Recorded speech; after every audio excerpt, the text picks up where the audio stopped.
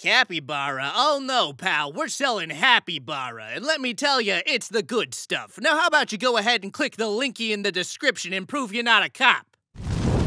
Greetings, adventurers, and welcome back to the Den of the Drake. Other dragons hoard gold while I hoard internet cringe.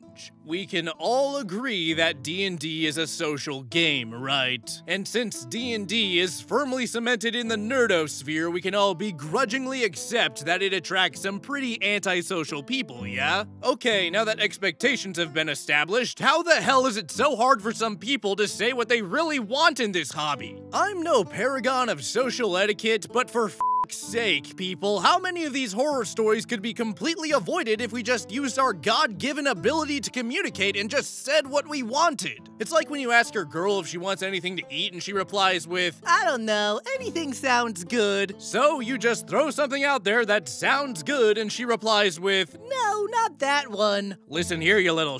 You can either go to Chick-fil-A in the trunk or the passenger seat. It's your choice. Dungeons and Dragons is much the same way. It's pretty hard to get what you want when you don't tell anyone else what you want. Yeah, sure, if you just start listing off demands, you risk looking like a needy little dickhead, but that sure beats sitting there in depressed silence. If I wanted to do that, I would have just gotten the lobotomy that my doctor recommended. The story I have for you today stars a player who is left in a state of confusion when their DM engages in a game of Mean Girls instead of just flat out telling OP what they want, which is apparently a monumentally disgusting NSFW game of make believe.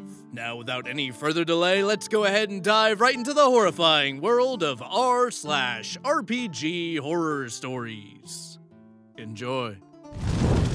This week's story comes from Reddit user Cursive Bernero7 and is titled DM acts like a mean girl instead of just saying that I'm not a fit for their campaign. Earlier this year, I was supposed to play in a campaign of Curse of Strahd, if the username was any indication. However, some drama got in the way of that, and in hindsight, it's pretty funny. So here I am, to regale you with the tale of how and why I didn't get to play Curse of Strahd.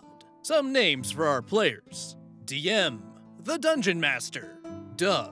Barb, short for Barbarian. Me and her played in a campaign together before. This info is important. Art, short for Artificer. Another player who told me some additional details after the fact. Fiend, not a player but still in the D&D server and happened to hear some choice tidbits from DM. In the beginning, all was well. I was one of the first people that DM asked to join. I hadn't played D&D since a previous group had fallen apart, so getting to play again was exciting. And it was gothic horror? Hell yeah, sign me the f up. I was all ready and had the perfect character for the game. An Oathbreaker Paladin with an obsession with dark magic. I was so hyped to play her. However, before we get to character sheets, DM sends all of us players consent forms. Now, I'm totally cool with consent forms, especially for something dark and gritty like Strahd. The first issue was that this was not Curse of Strahd specific in terms of content warnings. It was a general form that just had most, if not all, uncomfortable topics you can run into in a campaign. So, not exactly a great start, but okay. The DM had mentioned wanting to play this accurately, and that this was not going to be a game for the faint of heart. That's fine, I love a spot of guts and gore in my gothic horror. One of our players dropped after hearing about how gritty and edgy this Curse of Strahd was gonna be, and more power to her. This also means we had four players instead of five, which was okay in my opinion. But the DM wanted a party of five. Again, also not a problem. But then I get a message from DM. Hey, can I add Barb in? Like, would you be comfy with that? See, Barb and I had a history, as I alluded to previously. So, of course, my dumbass goes, Yeah, sure, I don't see the issue, because I was a massive people pleaser at the time. Still trying to break that habit, unfortunately. In reality, there was an issue. I hadn't spoken to Barb since our old group dissolved, and all the drama that that came with. That's a different story, though. In short, I was scared that Barb hated me because we didn't leave off on good terms. Oh well, I could play with her in a campaign, that's fine.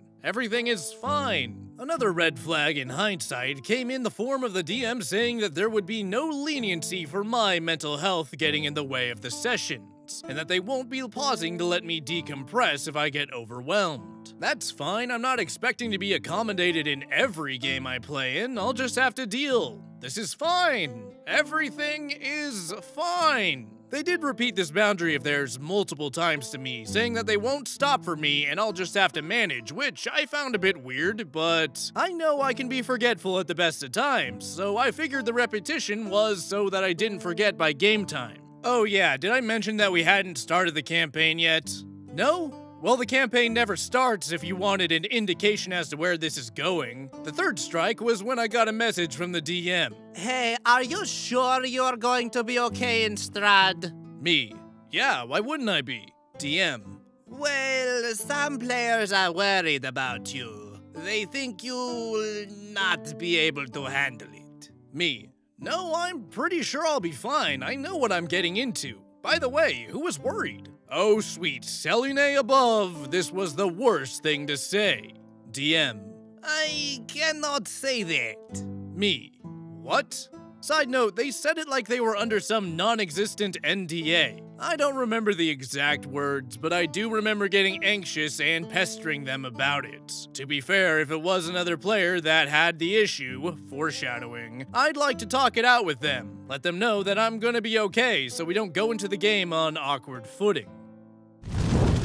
Oh, sweet lord, this is some ridiculous levels of cringe. Believe it or not, but I feel for the DM a bit here. Being a DM when there's a person in your party that you don't really want to be there is not an enviable position to be in. The worst is when it's someone that you don't have beef with and just don't think that they're a good fit for the game. Is there really a good way to approach someone and tell them that you don't want them at your table? From what I can tell, you only really got two options here. Option one is gritting your teeth and letting whatever scruples you may have pass out of your body like a kidney stone. I want to guess maybe 9 out of 10 people are going to go with option 1. And if I'm going to be honest with myself, I'm probably at least 7 of those people. The whole idea of having to communicate communicate to another person that their presence at a specific setting isn't desired is enough to give me anxiety just thinking about it. And I'm not sure I could do it, to be perfectly honest. Option 2 is just ripping off the band-aid and just being plain with the person. Hey, this is the expectation we have for this campaign we're doing, and I don't think it's gonna be something you're gonna enjoy. Hmm. Well, now that I've just said it out loud, it doesn't seem that bad. What the hell was I afraid of? What you for sure don't do is try to play a game of telephone and get everyone else in the group involved too. Look, I get it. It's an incredibly uncomfortable position to be in, but I guarantee you that you're not gonna be the Machiavellian schemer that you think you are, and trying to pull a Light Yagami to remedy the issue is only gonna make it worse and make you look like a weeb, which isn't a good look for anyone. The weeb part, I mean. Being a social idiot comes with the hobby. Eventually, DM confessed that it was Barb who was concerned, and they even were so gracious as to offer to mediate the conversation while Barb and I sort out our campaign concerns with each other. I should note I thought the issue was that I wouldn't be able to handle the content of the campaign. I only have a couple of squicks. Remember this for later, actually, so it should be no problem. Okay, I don't speak Tumblr and I'm gonna assume you don't either, so I went ahead and looked this up. A squick is a blend of the words squeamish and ick. It's like saying you're triggered, but you also want to be cute about it. Not washing your hands after going to the bathroom, that's a squick. The bard playing up the tired Lamau I seduce the dragon joke, that's a squick. Thinking that being an RPG horror story YouTuber somehow a flex, well, that should be a felony, but I guess I'll let it slide and just call it a squick. I said as much in the group chat that DM made for Barb and I. The content was not the problem. Now, while I can't recite the whole rant Barb went on for guidelines' sake, I can give you lovely readers the skinny. Basically, Barb said how much of a terrible player and person I was, how I hogged the spotlight, and how I couldn't handle our previous campaign, let alone Curse of Strahd. And also, she didn't want to see me ruin this game too, or hurt her friends any further. The friends in question are our mutual friend friends. Friends that I'm still good friends with, believe it or not. It was bad to say the least. Though luckily for me, the mental preparation for the campaign came in handy after all. I managed to stay calm enough to defend myself from the bad player allegations and to tell her to f off in regards to the previous campaign that fell apart. However, my strength didn't last long. I asked the DM in direct messages if they thought I would last, and I got the most plastic polite, no, sorry, I have ever read, and decided to drop the campaign. Too tired of this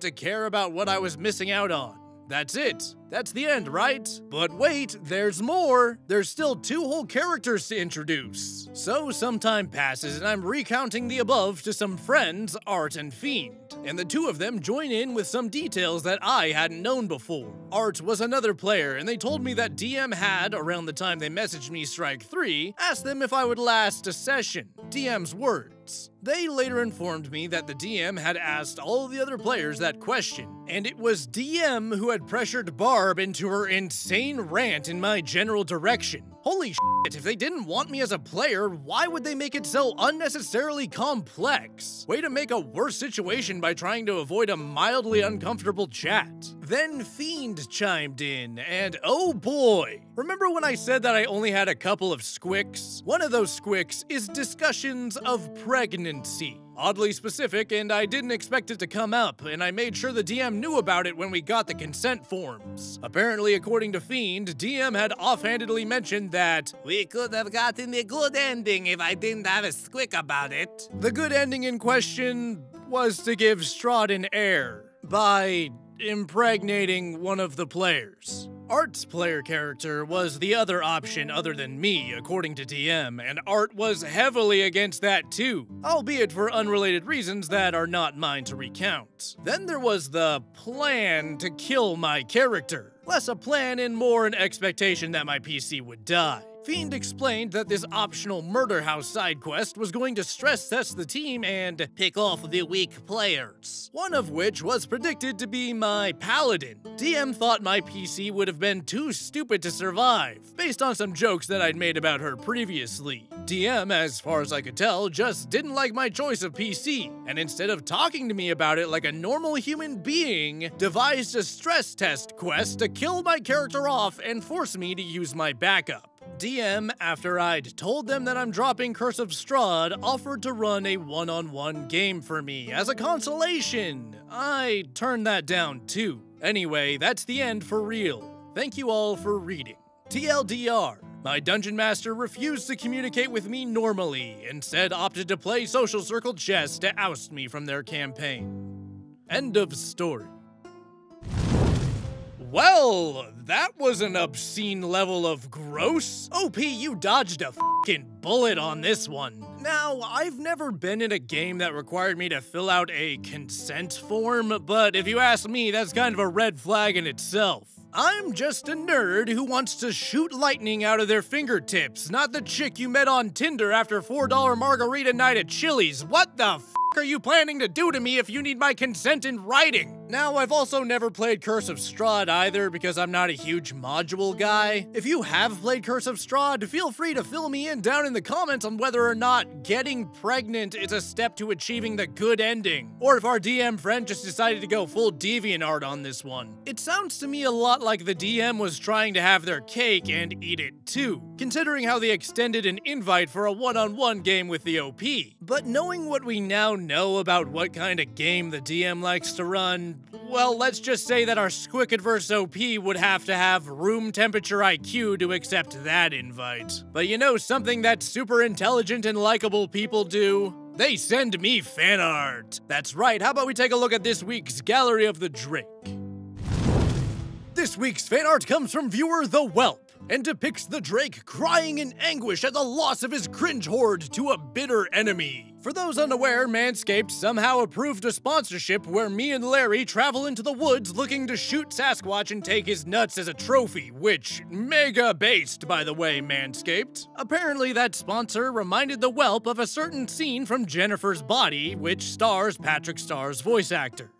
You hear me, you bastard? I'll cut off your nutsack and nail it to my door, like one of those lion door knockers rich folks got. That will be your! Thank you again, The Whelp, for submitting your art. If you'd like to see your fan art featured in Gallery of the Drake, be sure to send it to the email in my About section. Fan art is my favorite part of doing YouTube, and it means the world to me that I can inspire artists like you to create artwork like this.